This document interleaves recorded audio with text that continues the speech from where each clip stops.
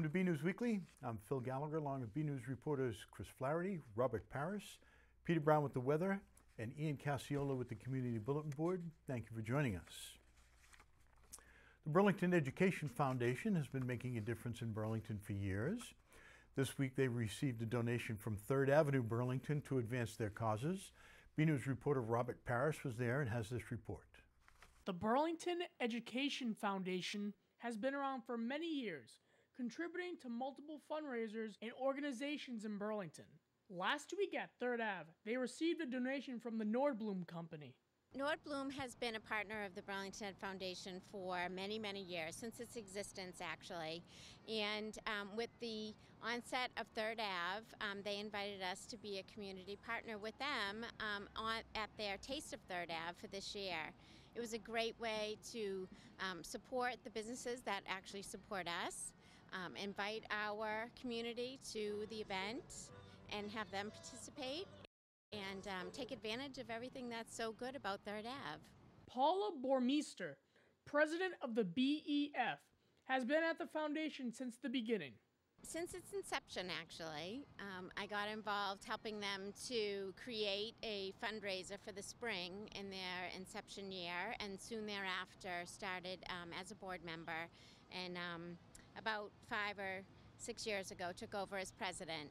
So, and I've been involved ever since. So, how will this donation help benefit the Burlington Educational Foundation? So, as I said, Nordblom's always been very generous, but this gave us an opportunity to increase that um, donation and um, really provide better for our school system. And we've noticed more recently in the past few years that our grants um, have increased in number and in the number of dollars requested. So, this goes a long way in helping us meet that need. The BEF is continually grateful for the generous support from the Burlington business community. I'd just like to say thank you again to Nordblom and the community um, and helping us raise the funds that are required of the school system. It's been a pleasure um, providing for the school system in all of the unique and different ways that our grants have come to play out. So, um, and I appreciate the teachers that are requesting them and the uh, results that we've seen with all the different programs. From Third Ave, I'm Robert Paris for B News Weekly. In other Third Avenue news, entertainment will be coming to Redstone American Bar and Grill. His six month entertainment license was approved for the restaurant at a recent Board of Selectmen meeting. The license grants solo acoustic music performances on the patio on Wednesday nights from 7 to 9 p.m. A Redstone representative explained that they hope it's something that will drive sales and be a great asset. Town Administrator John Petrin expressed concern about the music bleeding out to the neighboring Third Avenue establishments. He instructed Redstone to make sure the music is directed inward so that it's contained more in the restaurant because the patio was right across the street from other restaurants. Redstone fully agreed and wants to be respectful of its Third Avenue neighbors. The Board of Selectmen unanimously approved the vote. The license will expire in January, which time Redstone will need to renew their license. If the entertainment is a success, Redstone would need to return to the board to request additional evenings as well. MITRE Summer is in full swing, however, in New England, along with the perfect beach days, also comes tropical storms and hurricane season.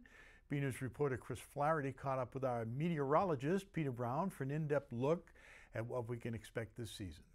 Welcome back to our Weather Center. We're joined once again by the best weatherman in town, Peter Brown. How are you, my friend? I'm great, Chris. How are you? Good to see you. I'm good. Good to see you. How's your summer going so far? It's going pretty well, and I've got to say it's been been really nice weather, which I'm kind it of pleasantly surprised. You for that. My pleasure. My machine is working well. Yes. So with every summer, there's a chance for summer storms, right? Absolutely. What's going on with our buddy El Nino? Okay, well, I'm glad you glad you mentioned that because El Nino is a real driving factor in how busy the hurricane season is going to be for Right. us, and you know, not only for just you know the southeast like people think about, but all the way up here to the Burlington area as well. Right. So what's going on out there in the uh, Pacific? All right. Well, as you can see here on this graphic behind me, this is Mm-hmm. basically this is a look at what the sea surface temperatures in the Pacific Ocean are right now. Mm-hmm. Right. Now, when you have a really strong El Nino pattern, Mm-hmm. You would see all of this warm water heading way over here to the west coast of South America. Right. And that that's usually what helps to you know diminish hurricane season quite a bit because it causes a mm-hmm. lot of wind shear that travels over into the Atlantic. However, on this graphic, as you'll notice over towards Ecuador and everything and the Right. coast of Peru, mm-hmm. the water is actually much colder than normal. So, mm-hmm. In terms of say, if we were to say, you know, see a lot of spike of activity coming off of the coast of Africa with tropical waves, it would be a prime time for storms to really develop without that wind shear present. Right. Now, what about um his significant other? I'll say El Nino. All right, so what we usually call um, La Nina is actually the reverse of El Nino. And basically, what that means is we see actually much colder water, even colder than what we're seeing right now off of the coast of western South America develop. Mm-hmm. And that pushes all of the warm water way, way over towards, say, Guam and the Philippines and everything. Mm-hmm. Now, when that happens, that completely cuts all of the wind shear off that's going over towards the Atlantic, and that allows these big, big, huge convective thunderstorms coming off of Africa mm-hmm. to really start to coalesce together and to form hurricanes. So, you have a strong La Nina pattern, which we're thankfully doesn't look like we're going to be going into, that's something that would be a real driving factor in the in an uptick of a hurricane season. wow. Okay. So what do we have next for our uh, weather report? Okay, well, this map right here, this is something that a lot of people, the it's very interesting to look at. It's a nice graphic from the National Hurricane Center, and this basically shows how many hurricane strikes we've had per coastal county in the Northeast going back all the way to 1900. Wow. So, of course, um, when you look on the map here, you see a couple of hot spots, which would be expected.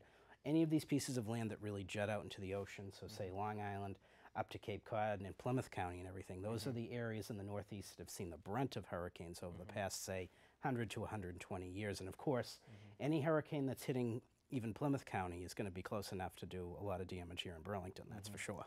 So basically, if you're on the shore, you're out of luck. That's for sure. Yeah, if you have your if you have your beach chair out, you're going to be going out with the fishes. Better look out for jaws. Uh-oh. That warm weather can't be too good for the water. Well, that's the thing too, and a lot of people mention that. You know, they ask me, you know, well, what is the really, really warm weather going to mean for us in mm-hmm. terms of hurricanes, especially as we go into August and getting into the start of September? And there's a couple of different things that actually happen. Is if we mm-hmm. actually have a lot of, say, southwesterly winds. Mm-hmm. So you say you can imagine on the graphic here, winds coming from the southwest or the west. Okay. That'll tend to sometimes push the warmer water back out to sea, and that will actually allow for a lot of what we call upwelling of cold water below. Mm. So sometimes a really hot, dry summer can actually mean much colder water off the shore for us, which actually can aid us. Mm-hmm. But when you get into summers like we saw last year, summers like we've seen in the past, where it's kind of been, you know, moderate, and you see more southerly winds coming like mm-hmm. due up from the Gulf Stream, that mm-hmm. can actually jam all of the warm water up against the south coast, and that can bring a pretty strong hurricane all the way up to here. Interesting. So that'll keep all the sharks far away. Oh, us. absolutely, yes. no need to. You can dip your toes in the water. All right. You can watch Jaws and not worry it's going to happen That's right. in real life. so what do we have for our final graphic? Okay, so the next graphic that we're going to show you is actually going to be outlining how many major hurricanes mm-hmm. coastal counties in the northeastern United States have seen. Mm-hmm. And as you can probably guess from that graphic, there's really not too much. And Of course, mm-hmm. the waters are much colder here than they are, say, in the southeast. You know, we see typically on an average summer, the warmest the water gets is maybe 75 or 76 degrees. Right. And you need to have a sea surface temperature of 80 degrees or warmer to sustain a really strong hurricane. Mm-hmm. But interesting to note, if you look down in Plymouth County and Bristol County, down south of us here, mm-hmm. actually, these are locations that over the past 120 years have only seen maybe about seven or eight direct hurricane strikes. Wow. But almost 40% of them have been from major hurricanes. So that's something that's a little bit, people think about it saying, well, if New England's seen a lot of hurricanes, shouldn't the you know vast majority should be very weak storms? And mm-hmm. actually, it's not the case. When we get a hurricane strike in New England, it's a hurricane that really has teeth with it. That's for sure. Yeah. So to wrap, wrap it up, bring it on home, what does this mm-hmm. mean for Burlington and the local area in the coming months? Okay, well, like I said, looking back at that El Nino graphic, if we mm-hmm. were to see all of a sudden a sudden uptick in um, waves coming off of the West African coast, without that wind shear there, you know, it could be pretty active for us here in the Burlington area. But the Climate Prediction Center and the National Hurricane Center are actually trying to see a trend towards this El Nino, this warm water heading mm-hmm. back towards South America when we get towards, say, the beginning of September. Mm-hmm. So that could mean, you know, we'd be thinking about all these big storms maybe heading to the Burlington area, and that might help to kind of knock the, you know, knock all the stuffing out of the hurricane, so to say. So we might actually be in a fairly good position in terms of that. Very nice. Mm-hmm. Now, just to compare to last summer, we were in a drought last year. How are we mm-hmm. doing so far this year? We're actually doing extremely well because I know mm-hmm. that we've been following that on BCAT with the weather the past, especially going back nine months, following it, you know, every few Right. weeks to see. Mm-hmm. And actually, most of, you know, all of Massachusetts is now out of drought officially. So you can imagine where we were this time last year when the lake beds were almost dry and oh, everything. yeah. They're actually all full, and there are actually some areas that have seen more than average rain. So if you can believe we've made it all up. Oh yeah, the common's nice and green now compared to last year. I remember last year it was nice and crunchy when we were out there for Celebrate Burlington. It was just like your Crunchy, bowl of that's a good cereal in the morning. yep. Well, there were plenty of nice little floats and rides to make it look more colorful. Absolutely, that's for sure. And that's August 5th, remember, folks. Celebrate That's right. Burlington. Peter and I will be there. and we will have perfect weather, of course. Absolutely. all right, Peter, thank you so much for all this information. This is really great. Hey, great, Chris. Thanks for so much for asking the questions, and so we can get the information out there for everybody. Absolutely. And folks, hope you enjoy the rest of your summer. And we're going to send it back to the news desk. MITRE, a nonprofit organization that operates research and development centers sponsored by the federal government, is expanding from its current campus headquarters in Bedford to across the street in Town Line and into Burlington. The Nordblom Company announced last month they have completed a 43,000 square foot lease with the MITRE Corporation. According to Peter Sherlock, MITRE's Senior Vice President and Chief Operating Officer, the MITRE technical staff continues to grow as demands increase for new research and development work in areas such as cybersecurity and healthcare. The building at 201 Burlington Street is in close proximity to the Bedford location and offers employees a variety of amenities while serving as an extension of the current campus. 201 Burlington Road consists of two connected office buildings totaling 135,000 square feet, Nordblom states. The buildings have received considerable improvements, including a complete demo to structure renovation, which features a two story atrium lobby, a new metal facade, energy efficient windows, advanced systems, and new landscape work. Nordblom has also invested in a new on site cafe, bike storage, and shower locker facilities to create a high end office campus. Nearby amenities, of course, include a wide range of restaurants and retail, as well as MBTA bus service at the front door, accessing both uh, Lowell and Alewife train stations. It also features close proximity to the Route 128, Route 3 Tech Corridor. Alexander Schnipp, Vice President at Nordblom Company, welcomes MITRE to a growing list of prestigious companies in the exciting campus and notes that MITRE has a long standing history as a successful and well respected organization in our market. State Senator Barbara L'Italien and uh, Middlesex Sheriff Peter J. Koutoujian announced the legislature has appropriated $250,000 in the FY 2018 fiscal budget, a fiscal year budget, for a pilot program to establish a restoration center in Middlesex County. Senator Ken Donnelly, the late Senator Ken Donnelly, had originally sponsored the budget request prior to his passing in April of this year. The Restoration Center would provide greater opportunity for law enforcement and the courts to divert those with mental illness and or substance use disorders away from the criminal justice system prior to arrest or adjudication. The center would help support ongoing law enforcement diversionary efforts in nearly two dozen Middlesex communities while also expanding the community capacity for treatment. Senator L'Italien explained her reason for filing the amendment is because mental health and addiction should be treated as a public health issue. Instead of criminalizing the disease of addiction, we must treat the victims of the opioid crisis, which is hitting Middlesex County particularly hard, with rehabilitation and support, she said. Sheriff Koutoujian reported that last year, 42% of those entering the, his custody required medical detox, and 46% reported a history of mental illness. He explained that the money from this initiative will help determine how to effectively break the cycle of incarceration by diverting more individuals away from incarceration and into treatment. Have you noticed any colorful painted rocks hidden around Burlington? Don't worry, the Easter Bunny isn't working in the off season and it's not a tech free version of Pokemon Go. It's the activity of a new community group called Burlington Mass Rocks. B News reporter Chris Flaherty went in search of some of these rocks and came back with this report. Let's have a look. If you've been out and about town, you might have noticed some unique looking rocks hidden amongst the trees and landmarks.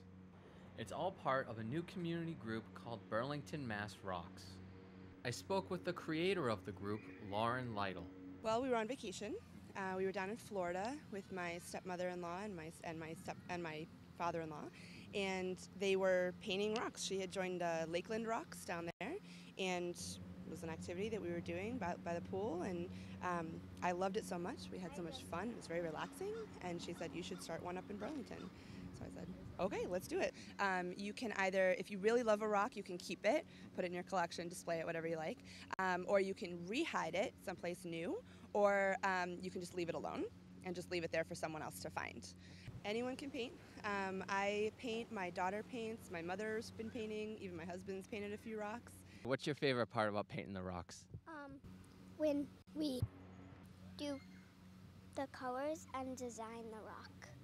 We don't do the same, so it looks more beautiful with different rocks. What are some of the types of rocks you painted? Poop emoji. Poop emoji. Did you hide that one somewhere already? No, I, No. I'm working on mine that I'm gonna hide, but mom, the one that mommy made, I'm keeping.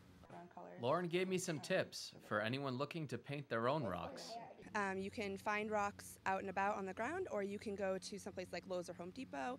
Um, the kind of rocks that I like to use are the Caribbean um, rocks. They're white and they're very smooth, um, so they allow for a better painting surface.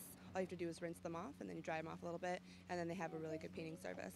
Um, but you can find a rock out on the ground. Um, the ones that are sort of rough and bumpy are a little harder to paint, though. We use acrylic paint to paint. You can use small paintbrushes or things like that.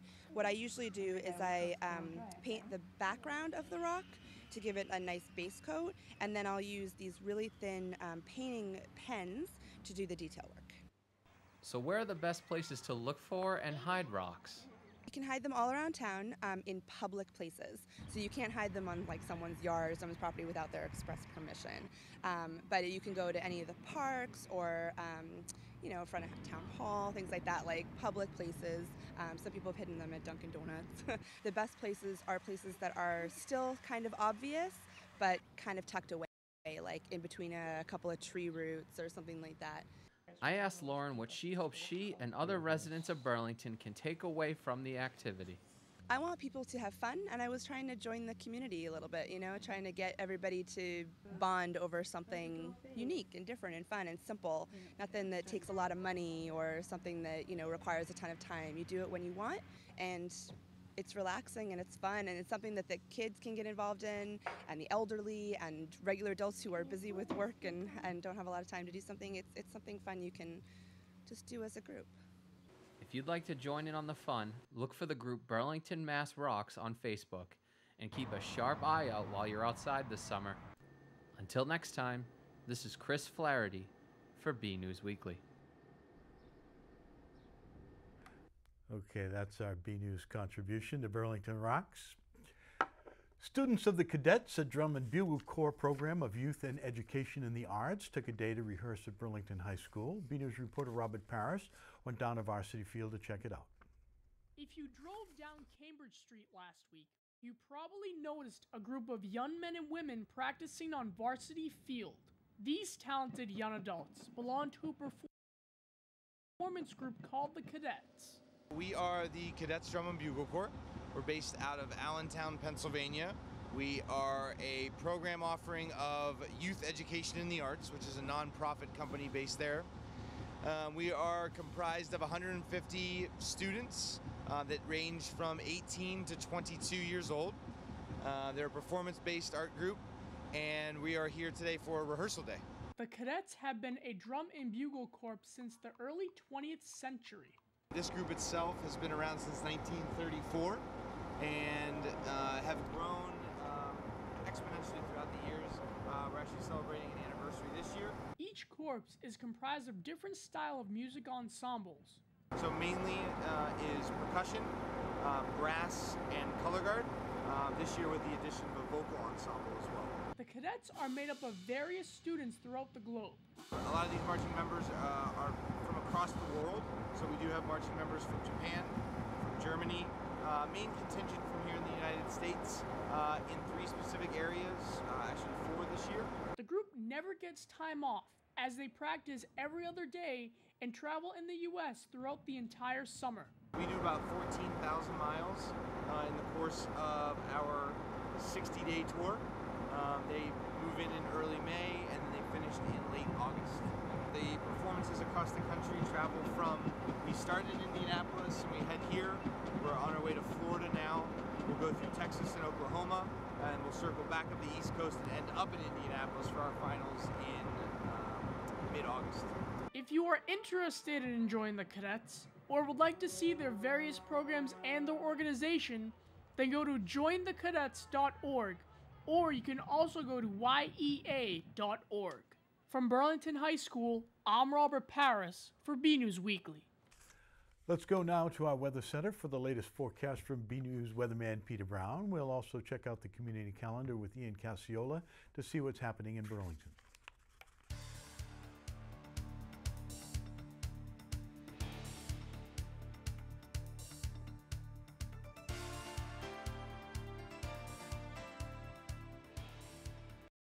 Well, hello everyone, and this is Peter Brown with a look at your weather for the next seven days. And here we are, we're already into the middle of July. Can you believe it already? As we start out our period this coming Thursday, you're going to notice actually temperatures a little bit below normal. We're going to see actually some fairly pleasant conditions, temperatures only in the upper 70s. However, we're going to see quite a bit of humidity as we start out our period. So if you have to be outside at all, it's going to be a little bit uncomfortable out there for you. Um, but like you said, like we've said, the average high is supposed to be in the low 80s at this time of the year. We're not going to be anywhere near our record highs or near our record lows, that's for sure.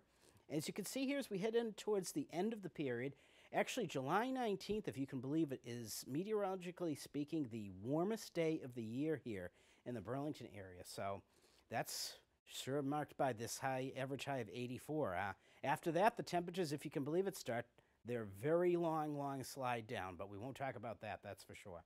As you can notice here, our days are still so nice and long right now. They're starting to get a little bit shorter now, now that we've passed the first official day of summer. So that's something to keep in mind, but we have lots of great summer weather ahead, that's for sure. As we move ahead, I'm going to show you a little bit about what's going to be going on with our weather for the next seven days. Now, starting out our period on Thursday, there's going to be this pesky stationary front that's going to be set up basically from just east of Nantucket all the way out into the Midwest. And what that means is we're going to see some, some unsettled weather, especially the first half of our um, period, really not breaking until maybe we get into the Sunday time frame or so. So with this front kind of moving back and forth over us here in the Burlington area, we're going to see a chance of some pretty heavy showers and thunderstorms each day until we get to about the end of Saturday. Um, as we get into Sunday, this front's going to slowly slide onto the south and kind of fizzle away and disappear. And that's going to allow some warm weather to then come back up into our area as we get in towards the beginning of next week. But just keep in mind, though, chance for some heavy showers and thunderstorms every day, really, Thursday, Friday, and Saturday. So keep that in mind if you have to be out and around, that's for sure. As we go ahead, I'm going to show you a little bit about what's going on in the tropics as well. And there's really not much going on, which is a great bit of news if you're going on a cruise anywhere, out to Bermuda or down to the Caribbean. No bad weather to worry about. There's just a couple of swirls out here in the middle Atlantic, which is the remains of what was a depression a couple of days ago. That's going to be heading back out to sea, and it doesn't look like anything organized is going to really be coming off of the coast of Africa and coming anywhere near us in the next 10 to 15 days. So, again, if you're on vacation, traveling down to all these areas down the tropics and the Caribbean, looks like your weather's going to be fairly nice. Now, as we go ahead, I'm going to show you about how nice our weather's going to be as we get on towards the uh, beginning of next week. Now, here you're going to notice, um, starting out our period Thursday, we're going to see the chance of some spotty heavy showers and downpours around with temperatures in the upper 70s with a lot of high humidity. Now, as we get into Friday, Friday's going to be kind of a real gray day. It's going to be more reminiscent of a April day, really, instead of July day. We're going to see cooler conditions. Actually, this high of 72 that I'm forecasting may be a little bit high. We may not see temperatures on Friday get out of the mid 60s here in the Burlington area. And that's going to, of course, bring some showery weather again with it. As we get into Saturday, though, we're going to see the return of some more warmth and a little bit more humidity as that front kind of moves around over us. Going to bring us some showers and thunderstorm chances again. But look at this. Once we get to the end of the weekend, Sunday, look at beautiful weather. Temperatures in the low and mid 80s with ample sunshine, just a few passing clouds. As we get towards the end of the period, we're going to see that chance of some showers and thunderstorms here and there scattered around. But temperatures, look at this, as we get in towards the end of the period again, we're going to see temperatures up in the upper 80s again. So getting warm again out there, getting a little bit sticky as we get towards Tuesday and Wednesday. But overall, not too bad of a pattern. Just again, remember to dodge some of those showers if you're out and around the Burlington area starting out Thursday and Friday. But everyone, get out there and enjoy the great summer weather that we have and have a great week.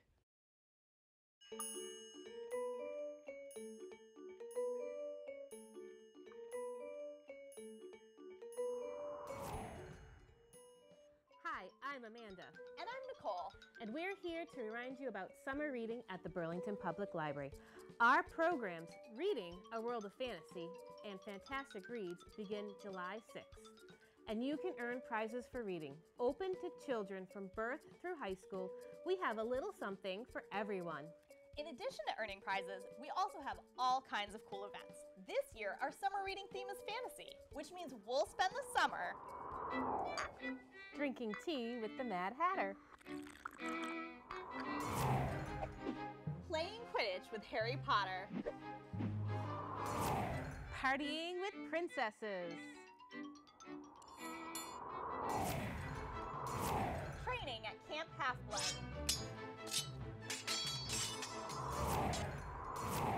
And you can too. To find out how you can participate, stop by the library or visit us online at burlingtonpubliclibrary.org. See you this summer!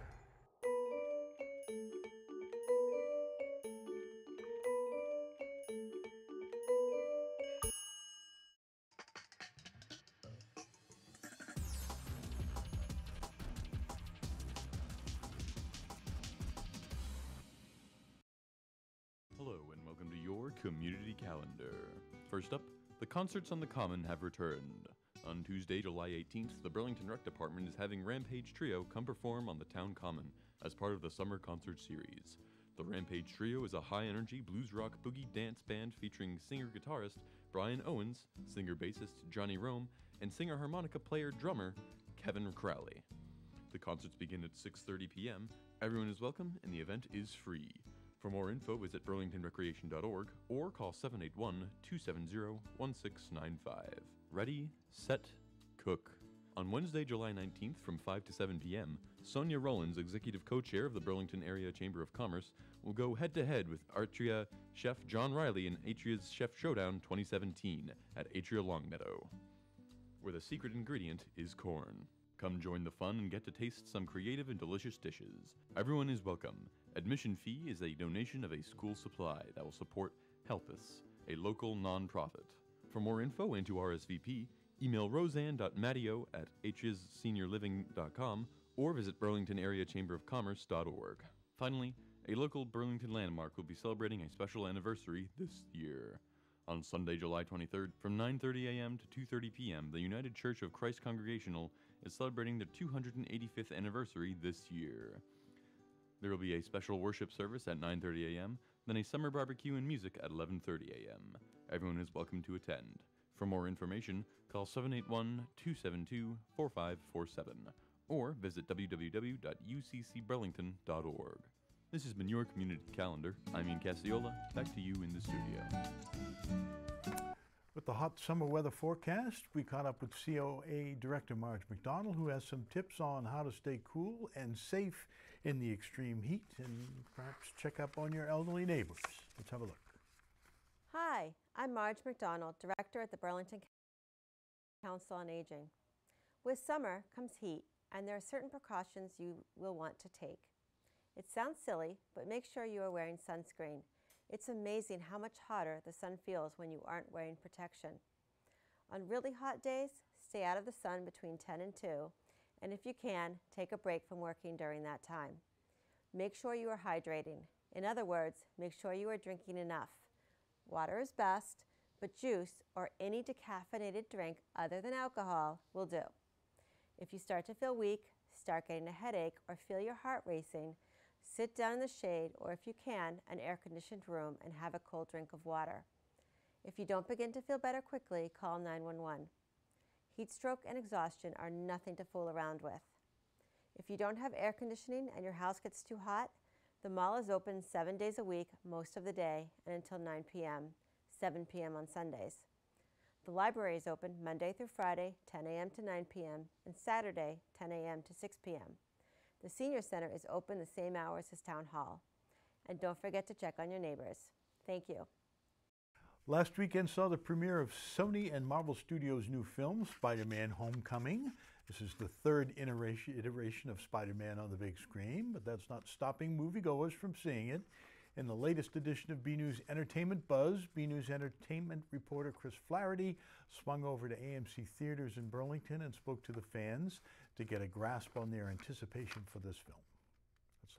Hi, everybody. Chris Flaherty here at the AMC Theaters in Burlington, and tonight is the opening night for Spider Man Homecoming.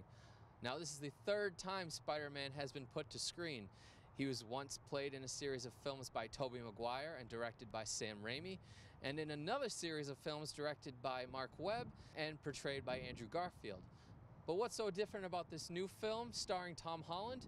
Well, this is the first time Spider Man has been in the same continuity as the Marvel Cinematic Universe, which basically means he can now hang out with the Avengers, like Robert Downey Jr.'s Iron Man and Chris Evans' Captain America.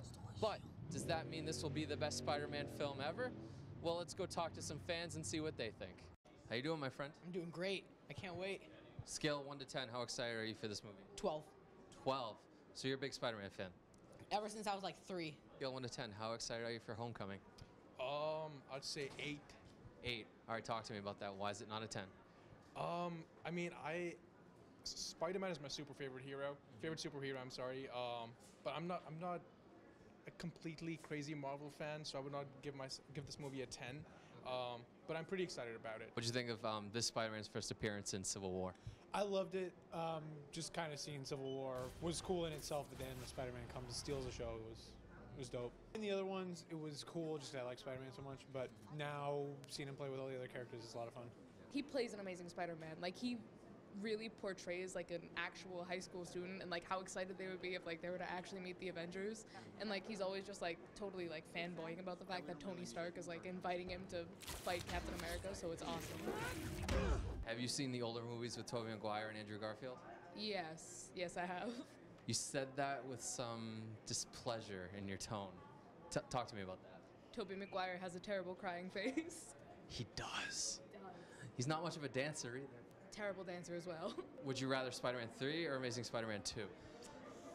I actually only saw part of Amazing Spider-Man 2. That's how like much I didn't want to watch the rest of that film. And I think Spider-Man 3 is, might be so bad, it might actually be hilarious to go back and watch it. So I think I'm gonna go with Spider-Man 3. They're so old and dated. They're like Yep. they're fun to laugh at at They this are, point. especially like the CGI effects and some of the like Spider-Man the original. Yeah.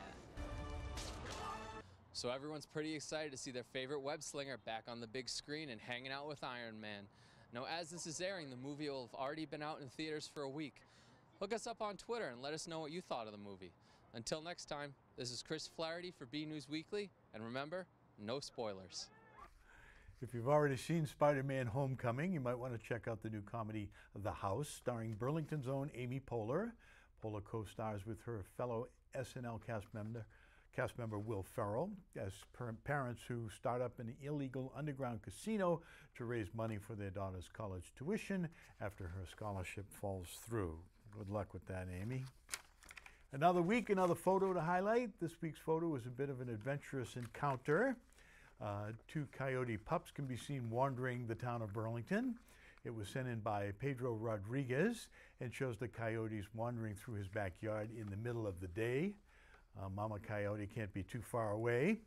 Thank you for the photo, Pedro. We'd like to see your photos. They could be of something you see around town, the weather outside your own door, or even photos of your family members and pets. Whatever you think is interesting and would like to share with us and the community. Mail, email your photos to bcat at bcattv.org with the subject line Photo of the Week. Finally, we conclude this with some sad news. George E. Garland, a longtime resident of Burlington and a fixture here at BCAT, passed away last Thursday. Uh, he was at uh, Lahey Hospital and Medical Center. George was 80 years old, a native of Wakefield. George moved to Burlington in 1964 with his wife Barbara and worked for many years as a graphic designer. In 1970, he owned his own graphic design company, Garland Graphics. George was a key member of the Burlington community. He was a regular at True North, where he could often be seen chatting with friends. He was also a member of the Masons and was also a member of and commander, former commander of the Burlington DAV, William Hurley Chapter 113, an organization which he cared about very deeply. George also brought his unique talents to BCAT for many years as a producer and host of programs like All About Freemasons, Masonic News, and the True North series. He was always available to crew for productions when needed. George is survived by his wife Barbara, whom he was married to for 57 years and has multiple grandchildren and great grandchildren. We here at BCAT offer our condolences to George's family during this difficult time. You can find the full obituary at www.bcattv.org forward slash bnews. That's it from the news desk here at B News Weekly. I'm Phil Gallagher, along with B News reporters Chris Flaherty, Robert Parrish, Peter Brown with the weather, and Ian Casiola with the community calendar. Thank you for joining us.